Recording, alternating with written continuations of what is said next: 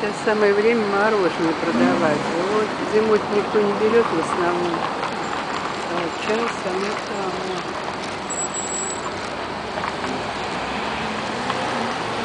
А ты ел когда-нибудь шаурму? Нет? Вот в этот э, в лаваш завернутый там фигня всякая.